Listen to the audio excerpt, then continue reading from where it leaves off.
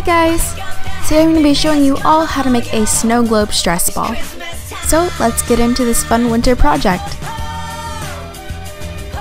What I have here are little shapes for the inside of the snow globe. And I just simply made these out of clay.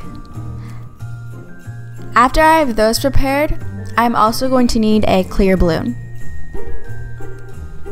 An extra ingredient that I decided to have is this plastic fake snow confetti, but of course this is optional.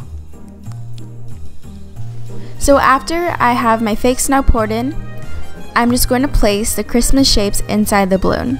If you are wondering how many shapes I put in total, I would say that there were about 30 of them. And after putting the shapes inside, you can see them clustered in the inside of the balloon. Final ingredient that we are going to need is clear school glue. Now blow the balloon up and twist the mouthpiece so the air stays in while you're attaching the glue bottle. Then squeeze the glue bottle to get the glue all out into the balloon.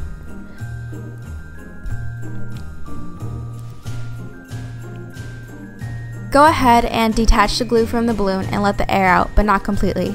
Just leave a bit of an air bubble inside. Lastly, to seal the balloon, tie a knot. And there you go!